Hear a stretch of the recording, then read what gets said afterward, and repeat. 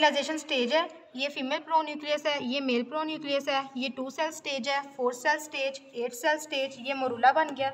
मरूला क्या कि यहाँ पे आ गया ब्लास्टोसिस्ट स्टेज जो सी ये बाहर आउटर कवरिंग है, ये ट्रोफोब्लास्ट की, ये जो अंदर सेल्स पर हैं, ये एम्ब्रियो ब्लास्ट और ये कैविटी है इसको हम कहते हैं ब्लास्टोसिस्टिक कैविटी उसके आगे ये ब्लास्टोसिस्ट वाली ये स्टेज है, यहाँ पे जो एम्ब्रियो ब्लास्ट से ये डिफ्रेंशिएट हो गए हैं, ऊपर वाले जो से ये एपीब्लास्ट है, नीचे जो सी एक लेयर है येलो कलर की ये हाइपोब्लास्ट है।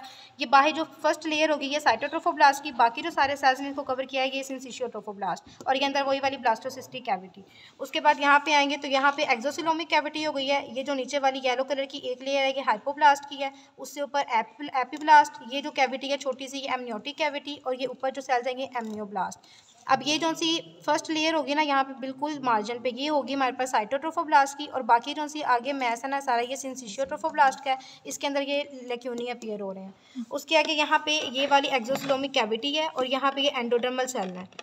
इसके बाद उनसे ये एपीप्लास्ट ये वाले और एपीप्लास्ट के नीचे उनसे क्यूबाइडल सेल है एक लेयर के ये हाइपोप्लास्ट उससे ऊपर ये एमनियोटिक कैविटी और ये हो गए एमनियोब्लास्ट अब ये जो सी ये येलो ऑरेंज कलर की लेयर है ये वाली ये है एक्स्ट्रा एम्ब्रियोनिक सम्प्लैंकनिक म्यूजोटम तो बिल्कुल इसके साथ अटैच है।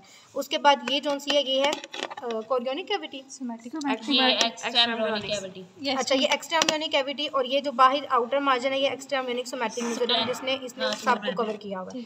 उसके बाद ये जो सा येलो कलर का सारा मैस है ना ये जो फ़र्स्ट फ़र्स्ट लेयर होगी ना बिल्कुल मार्जिन पे। ये साइटोट्रोफोब्लास्ट की आगे इनका सारा मैस है ये है सिंसिशियोट्रोफोब्लास्ट का। इसके अंदर ये वही वाले लेक्यूनिंग है और ये जो से आपको नज़र आ रहे हैं ना ये है मेटर्नल साइनोसोट्स ये वन टू थ्री उसके बाद बाकी सारी चीज़ें इस मॉडल में वो पिछले वाली हैं बस यहाँ पर उसकी कैविटी है ना ये है कोरियोनिक कैविटी कनेक्टिंग स्टाक और यहाँ पे ये कनेक्टिंग स्टाक ये कनेक्टिंग स्टाक हुई और ये हो गई कोरियोनिक कैविटी उसके बाद यहाँ पे ये है योग सेक और यहाँ पे कनेक्टिंग स्टाक है ये है डिवेलपिंग प्लेसेंटा और ये कोरियोनिक कैविटी उसके बाद यहाँ पे आगे ये सारी अमनियोटिक कैविटी और यहाँ पे ये हमारा सा डिजनरेटिंग यॉक्स है। हाँ।